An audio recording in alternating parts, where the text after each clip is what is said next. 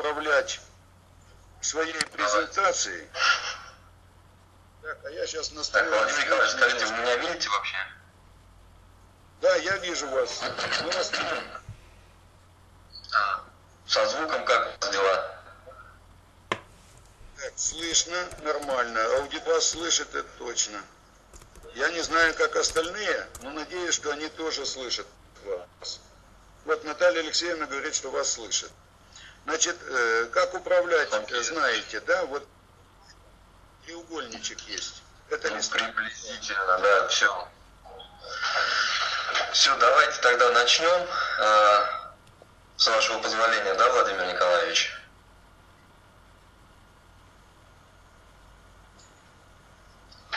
Да, давайте начнем. Так, ну я начинаю, да, тогда? Да. Значит, я оказался слегка в таком, да, цветноте своеобразном, а, поэтому сейчас попробуем работать в таком режиме, да, я все-таки попробую сказать все, что я запланировал, да, а вот дискуссию, вопросы, если они появятся, давайте попробуем перенести как-то в офлайн, да, я постараюсь не реагировать на то, что происходит в чате, потому что меня просто-напросто это будет отвлекать, и не всегда, может быть, это будет помогать мне, да, как-то вот содержательно а, проговаривать какие-то вещи. А, Что-то, возможно, да, из того, что я сейчас скажу, будет повторением того, о чем сказал а, Владимир Николаевич, но я думаю, что это будет очень все как бы достаточно коротко, да, повторение. А, Первое, да, что я хочу сказать, что я слегка откорректировал тему своего доклада. Первоначально он звучал как онлайн-курирование, как современная практика работы в сети. А сейчас практику, точнее, современную практику я заменил на актуальную практику. Вначале я, конечно, хотел бы сказать несколько слов о том, почему все-таки эта практика является онлайн-курирование является или курирование содержания является актуальной практикой, да, и почему, собственно говоря, я считаю ее практикой. И мои тезисы, все мои тезисы, отчасти обобщения выска- высказываемых западными коллегами мнений и мыслей по поводу того, что представляет из себя онлайн-курирование, ну, естественно, моих размышлений и такого обобщения опыта работы в сети. А, В большинстве публикаций по тематике курирования, содержания, а, его зарождения и актуализация связываются с феноменом социальных сервисов, да, которые очень активно используются пользователями, сам- самими пользователями интернет для порождения так называемого пользовательского контента. С одной стороны, все это привело к тому, что в сети теперь имеется очень разнообразная информация, а, и ее там достаточно много. Этот информационный шквал осложняет поиск релевантной информации даже с помощью достаточно продвинутых машинных алгоритмов. А, Я думаю, что многие из вас знакомы с ситуацией просто-напросто, да, когда мы вынуждены страницу за страницей перелистывать э, страницы в поиске, да, в Гугле, в Яндексе, либо в какой-то другой поисковой машине, в надежде на то, что мы наткнемся на нечто ценное, что еще не продублировано э, и не уворовано сайтами с рекламой. Такой информационный шум порождает вполне естественное явление потери внимания и дезориентации. В условиях, когда информации порождается больше, чем ее вообще можно было когда-либо переработать и использовать, а, ценность этой самой и даже самой качественной информации, естественно, постепенно начинает снижаться. По той простой причине, что нечто важное, качественное или актуальное может просто-напросто оказаться зашумленным и ускользнуть от нашего внимания. Поэтому и появляется необходимость в том, чтобы кто-то проделывал работу по возвращению этой самой ценности. Эти кто-то а, на западных сайтах западными нашими коллегами и называются кураторами контента. Убавить. Так, давайте попробуем убавить. Как бы так не получилось, что я вообще в итоге... Может быть, я слишком громко разговариваю. Так лучше? Коллеги. У нас нормально идет. Ну, понятно, я понимаю, зависит это все, в принципе, от качества приема, да. Итак, я уже сказал о том, что в эру пользовательского контента нужна некоторая практика, да, которая возвращает ценность этого самого контента. А теперь, что касается то, что касается вопроса актуальности, теперь несколько слов о практике. Мы с Владимиром Николаевичем на коротке буквально обменялись мнениями на этот счет. Он склоняется к предположению, что мы можем все-таки в случае с онлайн-курированием говорить о новой профессии. Я не буду оспаривать этот тезис по той простой причине, что э, для этого есть необходимые предпосылки, и в ближайшем будущем вполне возможно это может произойти. Тем более, что уже сейчас в интернете мы можем встретить людей, которые используют свои навыки анализа и экспертизы для заработка на специально созданных для этого сервисах. Это так называемые рекомендательные сервисы, где вы можете задать вопросы по самым разнообразным темам, от того, какую книгу прочесть, да, по определенной тематике, до того, на какой курорт, в какую страну, каким самолетом, каким рейсом лучше поехать да, или полететь.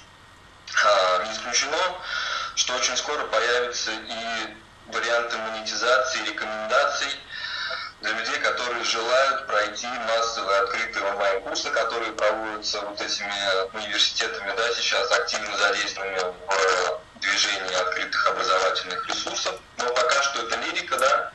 Сейчас же я предпочитаю смотреть на онлайн-курирование все-таки как на практику, да, не как на профессию. То есть как на очень важную и очень значимую деятельность, у которой есть свой объект, информация, а также достаточно широкий арсенал средств и инструментов работы, о которых Владимир Николаевич, в принципе, выше уже сказал. И этот арсенал э, э, с успехом может использоваться представителями самых разных профессий для работы с информацией. Вот пример трех уже существующих профессий такого рода. Э, кстати, вот господин Белоножкин назвал еще э, профессию э, контент-менеджера. Да? Это вот, в принципе, еще один вариант профессии в задачах или функционале, может быть, да, можно так сказать, которого присутствуют в том числе и задачи онлайн-курирования, курирования содержания информации. Чтобы вот эта моя мысль да, была окончательно понятна, мы можем, можем попробовать себе просто ответить на вопрос, можем ли мы считать профессией, например, тайм-менеджмент. Скорее всего, нет, да, наверное, нет. А, хотя я думаю, что многие из вас, коллеги, другие наши, да, Э, знакомые используют инструментарий тайм-менеджмента э, очень широко. А для меня онлайн-курирование это все-таки деятельность такого рода, да, именно такого плана. Со временем она может быть стандартизирована, закреплена некими институциональными нормами, то есть, по сути дела, превратиться в профессию, а пока что она проходит стадию своего становления. И подтверждение тому э, тот самый плюрализм мнений относительно того, что представляет из себя курирование содержания или хранение содержания, э, курирование информации в сети интернет. Эм, очень популярным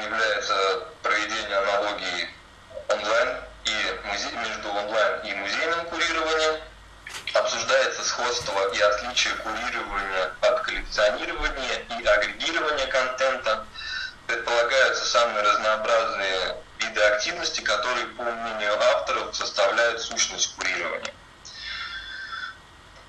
Но при этом, при том, что существует вот этот плюрализм мнений, все-таки все сходятся в одном. Сходятся в одном, что э, по большому счету это то, о чем я говорил ранее. Раньше курирование имеет своей целью прежде всего добавлять ценность контенту. Да, это вот то, что я о том, о чем я уже сказал, добавлять ценность контенту. И, соответственно, у нас с вами встает вопрос, а что же такое добавление ценности контенту к информации? Рахит Харгава – это англоязычный, да, англоговорящий специалист, который занимается продвижением тематики онлайн-курирования применительно к сфере маркетинга говорит о том, что прежде всего такая, такого рода активность должна воздерживаться от добавления нового шума в информационное пространство, а также то, о чем опять же говорил уже Владимир Николаевич, постоянно думать о том, как это делать, да, добавлять структуру и осмысленность к а, вот этому постоянно растущему информационному шуму. А,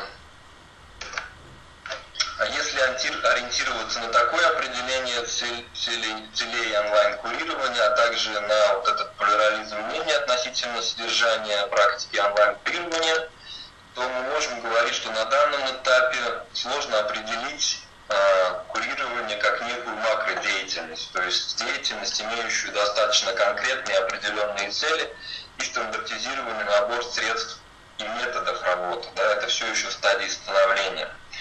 Может быть, уместнее все-таки было бы смотреть на онлайн-курирование как на широкую практику, да, которая применяется вот в тех профессиях, которые я называл и которые я не называл. А, сюда принадлежат, да, в том числе и профессии организаторов дистанционных, массовых дистанционных курсов.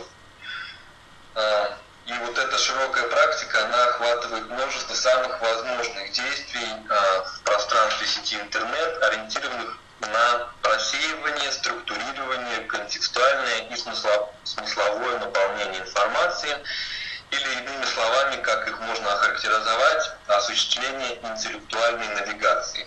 Для себя я назвал это так.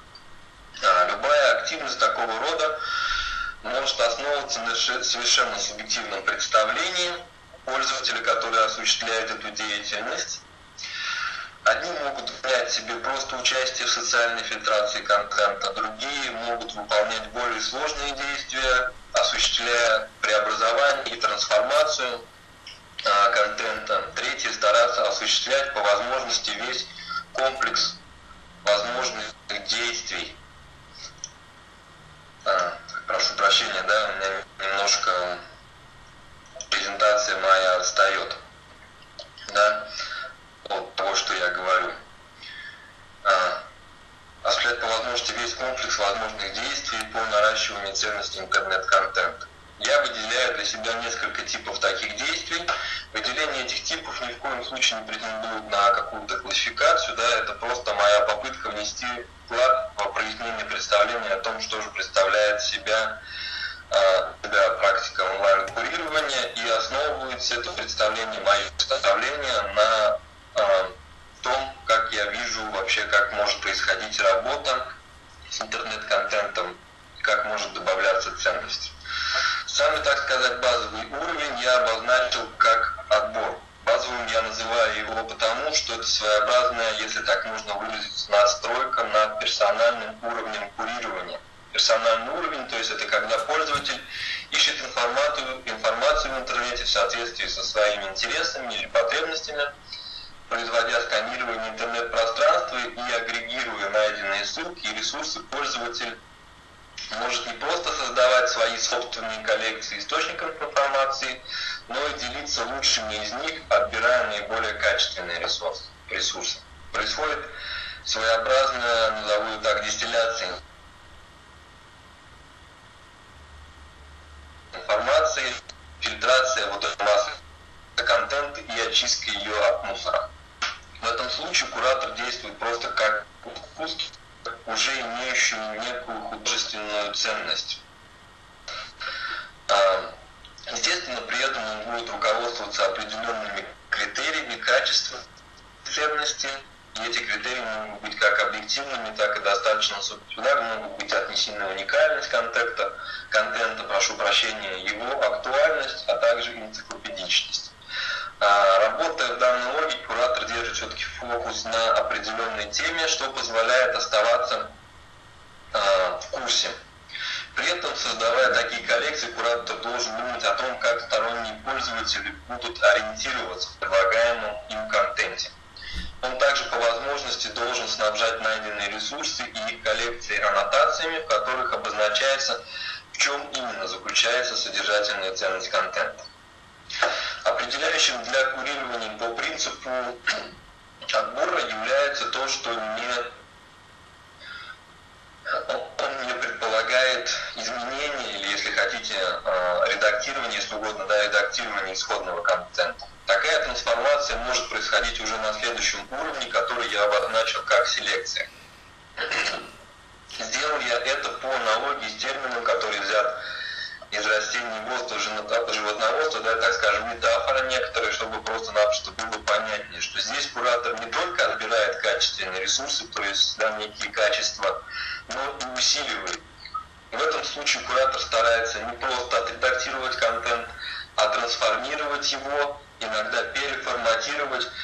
И цель здесь очень простая. Сделать исходный контент более легким для понимания и осмысления содержащейся в исходнике информации. С определенными оговорками мы можем считать простейшим случаем курирования в логике селекции перевод текста с иностранного языка. Да, для тех, например, пользователей интернета иностранного, например, английского не знает. Сюда же можно отнести, например, работу по комментированию содержащейся информации, а,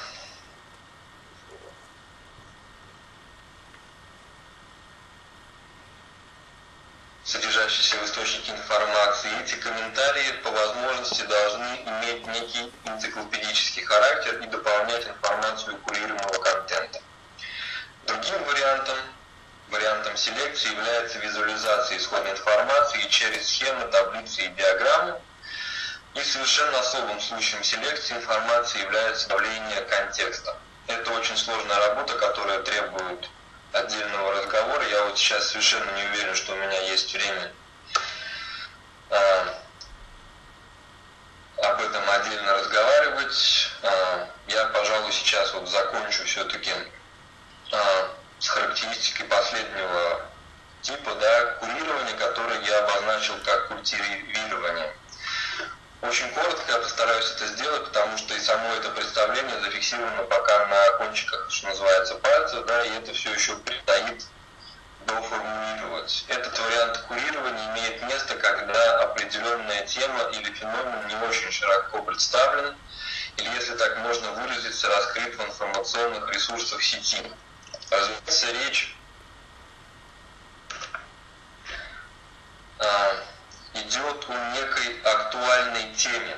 В этом случае куратор работает не в логике поиска и отбора контента, а в логике поиска людей, которые разбираются в той, в этой вот данной тематике или в какой-то смежной тематике. Его основная задача заключается э, не только в поиске таких людей, но и в подключении их к продуцированию, созданию контента самыми различными способами Естественно, речь идет о разнообразном медиаконтенте, не о сосредоточенности не только на текстовом контенте. Иными словами, работа по принципу культивирования предполагает, что куратор выполняет роль координатора распределенной экспертизы. В этом плане очень показательна та работа, которую делает, возможно, известный вам Говард Рейнгольд. Он является очень наблюдательным человеком, выделяет некую тенденцию влияния информационных технологий на социальные явления и процессы. Так было и, например, с явлением виртуальных сообществ, и с умными толпами или смарт-мобами, возможно, эти книги, да, содержание этих книг вам знакомо. Затем он находит людей, среди создателей этих технологий, а также среди исследователей и пытается понять, почему возникают эти влияния и куда они в итоге нас могут привести. Если вы знакомы с книгами «Виртуальные сообщества», именно толпы Говарда Реймонда, вы примерно себе представляете, о чем я говорю. Да? Он проводит а, интервью с политологами, социологами, эволюционными биологами, математиками, например, занимающимися теорией, теорией игр. Да? То есть он берет экспертов в области изучения феноменов сотрудничества и конкуренции, и потом это все пытается как быть в разрезе тематики, в данном случае тематики а, а, толп. Да? Помимо этого, Рейнгольд создает а, информационные да, интернет-платформы, на которых уже заинтересованные пользователи ведут свои блоги и пишут в этих блогах о проявлениях этих социально-технологических феноменов в повседневной жизни. И в заключение, да, я просто скажу о новом проекте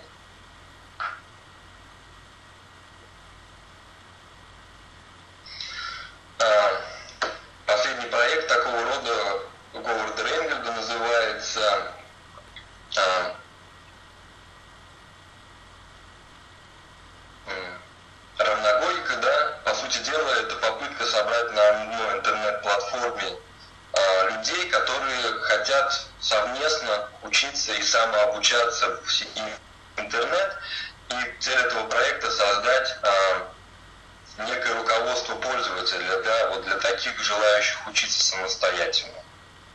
В принципе, что получится из этого проекта, нам еще с вами предстоит увидеться. И вот я сейчас уже э, отвечаю на вопрос Юрия Николаевича Белоножкина, да, после доклада. Я надеюсь, да, более-менее содержание докладов по техническим причинам и по причине того, что мне пришлось очень быстро и, может быть, Путина говорить, до вас дошло. Э, как я вижу свою практику, да, я нахожу вот подобного рода тематику, в частности, для меня очень интересна э, тематика именно равногорники, да, или как ее еще называют на английском языке пирогогики. И я на своем онлайн-блоге, общаясь в том числе со своими коллегами, пытаюсь вот эту тему, связанную с автодидактикой, да, самообучением людей в интернете, как-то очень активно курировать, находить, соответственно, людей, которым эта тема интересна, и с ними эту тему обсуждать. Спасибо за внимание, я надеюсь, что я был вам полезен. Всю информацию я опубликую в группе на Фейсбуке, да, ссылки, может быть, на свою презентацию и, соответственно, ссылку на текст на того, о чем я говорил. И надеюсь, что это вас заинтересовало, и мы попробуем с, вот, с людьми, которые приступают, да, может быть, только сейчас к рассмотрению как-то, да, этой практики, попыткам ее применения в своей практике. Попытаемся обсудить, мне будут очень интересны ваши отзывы и, естественно, ваша критика относительно того, что из себя представляет этот феномен онлайн-курирования. Владимир Николаевич, спасибо вам большое за возможность выступить перед аудиторией.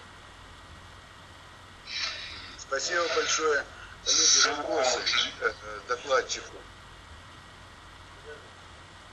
Самое главное, да, там кофе нас ждет, да, поэтому это, это важнее. Э, нет вопросов, да? Да, приятно. Все было понятно. Тогда в таком случае, коллеги, да. да. Все, большое спасибо, коллеги, за участие. Э, мы на этом закрываем эту сессию. Встречаемся через э, ну, 12 часов мы встречаемся. На последнем нашем заседании будем рассматривать массовые открытые дистанционные курсы. И вообще, стоит ли у американцев учиться в их курсах, в общем-то чье образование лучше, да? Все, коллеги, до встречи.